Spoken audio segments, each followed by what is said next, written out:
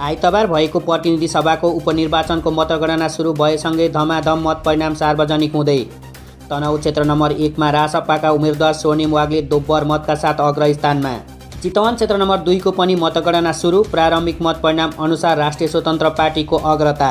बारा क्षेत्र नम्बर दुईमा राष्ट्रिय स्वतन्त्र पार्टीका उम्मेद्वार रमेश खरेलको निराशाजनक मत परिणाम। आइतबार भएको प्रतिनिधि सभाको तिनवटै उपनिर्वाचनको मत परिणाम सार्वजनिक हुन थालेका छन्। निकै महत्त्वका साथ हेरिएको तनहुँ क्षेत्र नम्बर एकमा राष्ट्रिय स्वतन्त्र पार्टीका उम्मेद्वार डाक्टर सोनिम वागले आफ्ना प्रतिद्वन्द्वीभन्दा निकै फराकिलो मतले अगाडि छन्। अहिलेसम्मको मत परिणाम अनुसार तेह्र हजार चार सय उनपचास मतसहित वागले अगाडि छन् भने आठ हजार सडतिस मत प्राप्त गर्दै काङ्ग्रेस उम्मेद्वार गोविन्द भट्टराई वाग्लेलाई पछ्याइरहेका छन्। भट्टराईभन्दा पाँच हजार तिन सय मतले वाग्ले अगाडि छन्। त्यसै गरी नेकपा एमालेका उम्मेद्वार सर्वेन्द्र खनाल चार हजार तिन सय अन्ठानब्बे मतसहित तेस्रो स्थानमा छन्।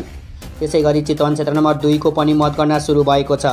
केही विवादका कारण ढिलो गरी सुरु भएको मतगणनामा अहिले इच्छा कामना गाउँपालिका वडा नम्बर एक र तिनको मतगणना सम्पन्न भएको छ। भर्खरै मात्र सार्वजनिक गरिएको मत परिणाम अनुसार राष्ट्रिय स्वतन्त्र पार्टीका उम्मेद्वार रवि लामी छानेले अग्रता लिइरहेका छन्। एघार सय पचपन्न मतसहित लामिछाने अग्रस्थानमा छन् भने छ सय पैँसठी मतसहित एमालेका उम्मेद्वार रामप्रसाद नेउपाने उनको पिछा गरिरहेका छन्। त्यसै गरी पाँच सय सतासी मतसहित काङ्ग्रेस उम्मेद्वार जितनारायण श्रेष्ठ तेस्रो स्थानमा छन्। यो चितवन क्षेत्र नम्बर दुईको प्रारम्भिक मत परिणाम हो। पहिलेको निर्वाचनमा साठी हजारभन्दा ज्यादा मत ल्याएर जित निकालेका रवि लामी छाने यसपटकको उपनिर्वाचनमा त्योभन्दा पनि ज्यादा मत आउने बताउँछन्। त्यस्तै बारा क्षेत्र नम्बर दुईको पनि मतगणना सुरु भइसकेको छ भने प्रारम्भिक मत परिणाम पनि सार्वजनिक भइसकेको छ।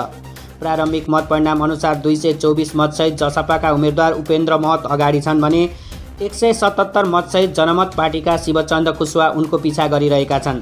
राष्ट्रिय स्वतन्त्र पार्टीका उम्मेद्वार रमेश खरेल असी मतसहित चौथो स्थानमा छन् तर यो प्रारम्भिक मत परिणाम हो। कुन बेला को अगाडि हुन्छ र जित कसको निस्कन्छ जान्नको लागि हामीसँगै रहिरहनुहोला